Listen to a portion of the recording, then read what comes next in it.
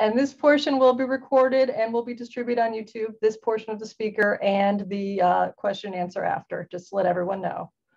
And now I'd like to welcome Raj Ayyar, who will be speaking to us, No Nonsense Tea from an Empty Cup, Rethinking Zen. Uh, Raj, whenever you're ready, I'm gonna go ahead and stop sharing my screen. Thank you, Beth. No, it's a real pleasure to rebond with the UUs in Melbourne uh, my association with you goes back many, many decades. And one of the things I feel truly grateful for, speaking of joys and concerns, is the miracle of the Zoom technology that allows me to reach out to you from thousands of miles away in Bangalore, India. And I can see you and hear you and feel the aliveness and warmth of your presence. And that is such a precious gift to me. So Without further ado, I'd like to plunge into the murky waters of Zen. Why do I call them murky waters? Well, first of all, Zen is opposed to any kind of structure. You know, one of the hymns about presence, uh, he spoke about being present every moment. Perhaps that is the a minimalist description of Zen, and maybe we should just leave it at that. But I'm going to tease some kind of structure out of an anti religion, even an anti spirituality that mocks structures, mocks verbalization, mocks rationalization of any kind. The Zen master, you know, slaps us into being here now, in this moment, living it fully, without intellectualizing or verbalizing any kind of verbalization, any kind of system building is greeted with a kick, a Zen hammer, a rude noise, or the Zen master just walking out of the hall. So, uh, but we're going to tease some kind of structure out of it because as rational beings with powerful left brains, and most people in the UU community are, we need some kind of framework for understanding this phenomenon. This curious offshoot, brilliant, luminous, but curious offshoot of Buddhism known as Zen. Um, I want to start with a little story. And this is where the title of my talk comes from. A philosophy professor went to see the Zen master Nanin. You know, he'd taken a day's leave from work and off he went. And he reaches the master's cottage, and Nanin greets him gruffly. And the philosophy professor has a pocket full of questions, you know, questions neatly typed up. Uh, what is the Buddha? What is enlightenment? How do I reach nirvana? Etc. Etc. And the master said, "Wait, calm down. Let me fix you a cup of tea." And he goes in, brings a kettle, places a, uh, a cup on his visitor's lap, and starts pouring. And he pours and he pours and he pours, and the water overflows and scalds the visitor's crotch. And the professor leaps up in pain and says, You Zen masters are all crazy. You know, what are you trying to do to me? And Nanin replied very calmly, your mind is like this overflowing cup. Next time you come to see me, bring me an empty cup. And this, it, in many ways, is the heart of Zen. To preserve that empty cup, that beginner's mind, that open mind, the mind of a child, the mind of someone who's uncluttered with dogmas, uncluttered with rationalizations, uncluttered with thoughts of past and future, not beset with all kinds of fears, but rather someone who lives in the moment joyfully, but with a total beginner's mind. To have the humility to say, I don't know what the next moment is going to bring. I don't know what this moment is going to bring. It could bring me terror. It could bring me joy. It could bring in new variants of COVID it could bring in the complete disappearance of COVID 19 from our planet. Now, I'm not going to prejudge based on all that rumor mongering on WhatsApp. I'm not going to prejudge based on my mimetic conditioning. All the stuff that I've learned from parents, from, from school, from uh, the memes on the internet, I'm not going to, uh, I'm, I'm, I'm going to stop miming. I'm going to stop this mimetic understanding and simply live uncluttered with a beginner's mind. And I'm not going to make any a priori, I'm, I'm not going to reach any a priori judgments or conclusions.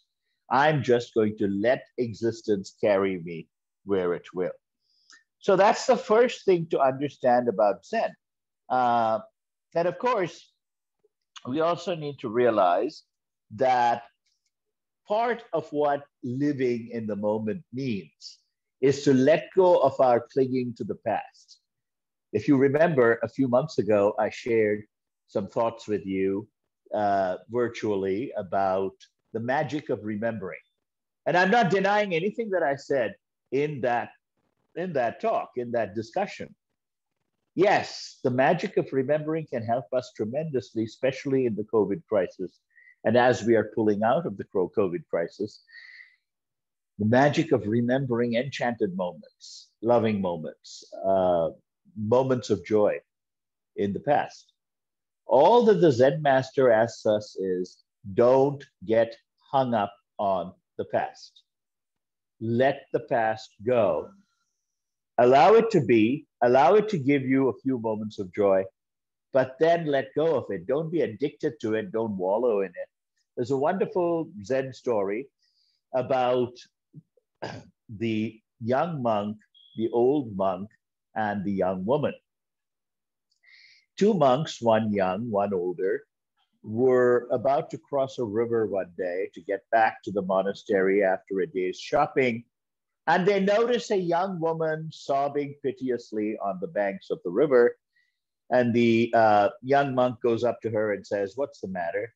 Uh, and she says, Well, sir, I've missed, I've missed the last ferry and my husband is going to be really mad at me. He's, you know, he goes, flies off into rages at the slightest provocation, and he's going to be very upset if I return home late.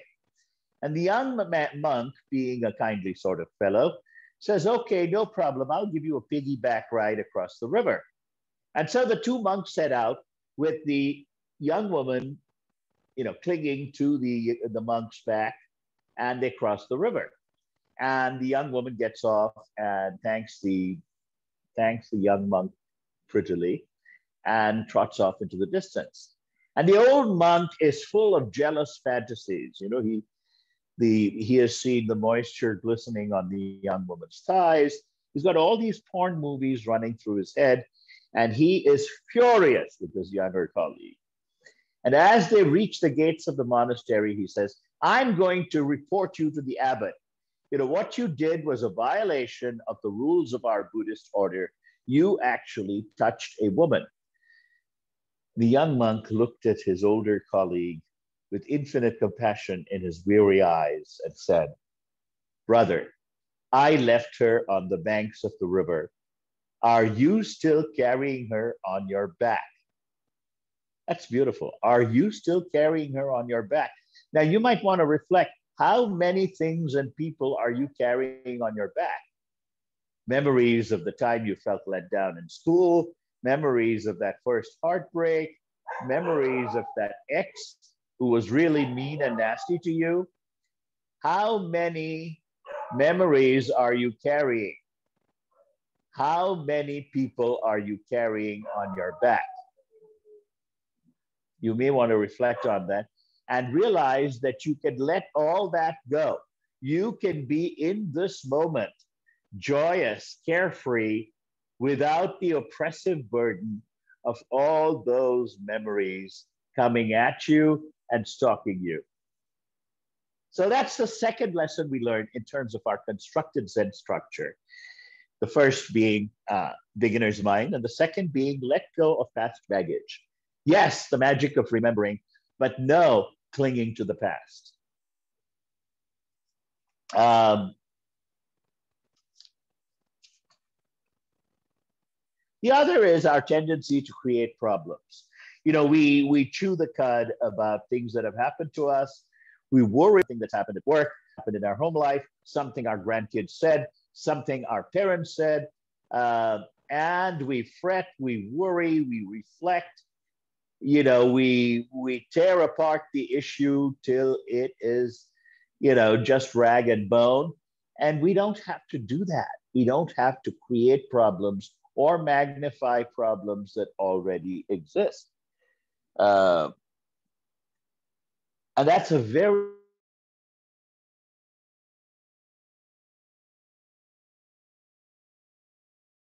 statement in Zen. And it reflects it too. Uh, this is the story of the monk, the tiger, and the wild strawberries.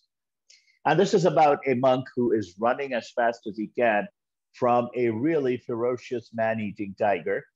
And he's running as fast as his legs can take him and he's running and he's running and he's running.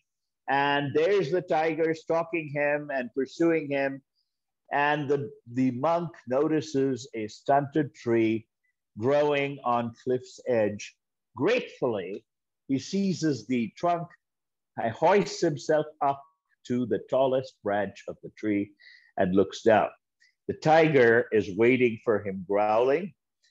And to his dismay, he says that on the other side of the tree are two large mice gnawing away at the tree.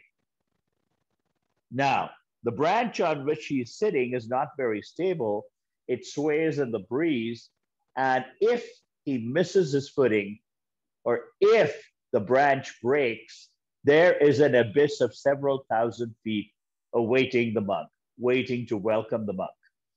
So so there we are. It's an impossible situation. And after the monk had taken a few deep breaths, guess what he did? He reaches down, he notices that there's a, a cluster of wild strawberries growing from cliff's edge. He plucks one of them, puts it in his mouth, and goes, ah, and ah of satisfaction. And the story ends there meaning to say, no matter what the wild tigers, what the mice uh, of the IRS or the mice of other negative stimuli that seem to be gnawing away at the trunk of the tree of life, no matter what negativities abound in our lives, we always have the choice to opt for the wild strawberries that life also offers us. We don't have to be hung up on the tiger and the mice. So that's the, the third structural lesson that we can learn from Zen. The idea that we are uh, we don't have to make problems or worsen problems by thinking about them incessantly. We can instead grab the opportunities and we can grab the, the, the fruits, if you like, and enjoy them in the moment. We do not have to be carried away by feelings of despair and worry. You know, the, uh, for Zen, what is, is, what ain't, ain't. To some extent, the ancient Stoics in the Hellenistic world also said that, but not as clearly or as loudly as Zen does. You know, in Zen, this what is, is, what ain't ain't is is fundamental at least for the stoics. The stoics would say change whatever you can change. It's very much like the serenity prayer in our own time uh, serenity prayer that's accepted by aa and the 12 step programs. Uh, but zen says there is nothing else but what is so don't don't waste your time saying how unpleasant this is. What am I to do? Oh my God, the world has never seen such a crisis. Whether you're talking about COVID 19 or whether you're talking about a tumble in terms of the stock market, don't waste time. That's what is. And you've just got to take a deep breath and accept the what is. There's a wonderful saying, yes, what's worth doing is worth doing badly. Um, what is there's a wonderful statement uh, in, in Zen about the Zen master Jashu, and he lies there dying, and his, his favorite disciple decides to bring him a slice of cake from the bakery, his favorite cake, adorned with plums, adorned with all kinds of goodies. And he says, takes a bite of this cake and says, My, but this cake is delicious, and dies. No deathbed pronouncements, no answers to questions from his disciples about, well, you're dying. Do you have any last instructions or last words of wisdom for us? My, this cake tastes delicious. That's it. That's it. Because that's all that's happening in the moment you know, and no tortured reflections on an afterlife, no words of wisdom for posterity. All that is BS. All that exists is the here and now and the enjoyment of the here and now. So, what is, is, what ain't, ain't. The uh, one thing needs to be said: the Buddhists in general, not not only the Zen masters, the Buddhists in general see anger as one of the poisons that can cripple us and undermine us. Uh, and so there's a there's a great story about this. There's a great parable about this in Zen about a samurai, and samurais, as you know, could be ferocious, and certainly they were very martial and militant and macho. Uh, comes to a Zen master and says to the Zen master Hakuin, and says, Master, is there really a heaven or a hell? What are the gates of heaven? What are the gates of hell? The master looked deeply into the samurai's eyes and said, You, a samurai, asking these questions? First of all, I don't believe you're a samurai. You look like a beggar. Probably come from a family of beggars. And of course, you know, when you insult a samurai deliberately like that, your life is in jeopardy. So the samurai unsheathed his sword and rushes with this roar at the Zen master as if about to kill him.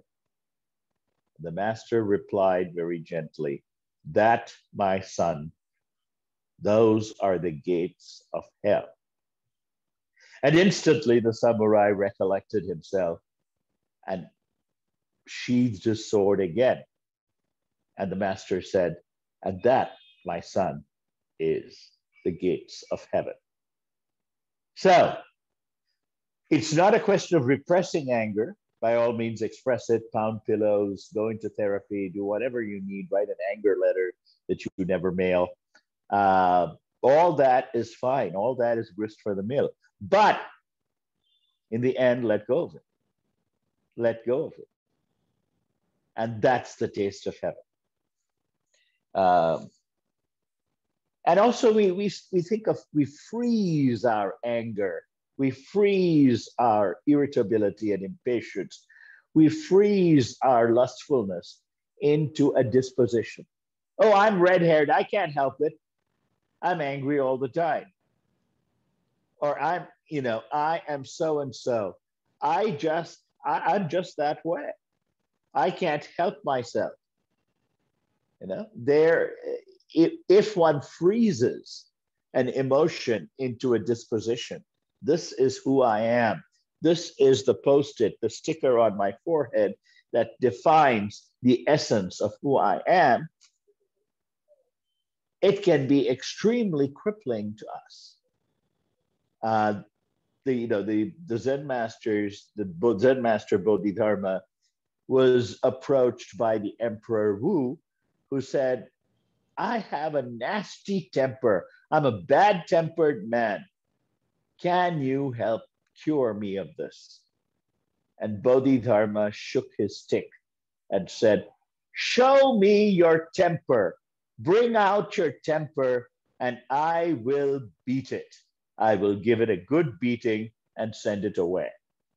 Of course, the parable is absurd But behind the absurdity of the parable is the truth that once we stop freezing our emotions into dispositions, into permanent qualities, and to this is how we are, and I can't change,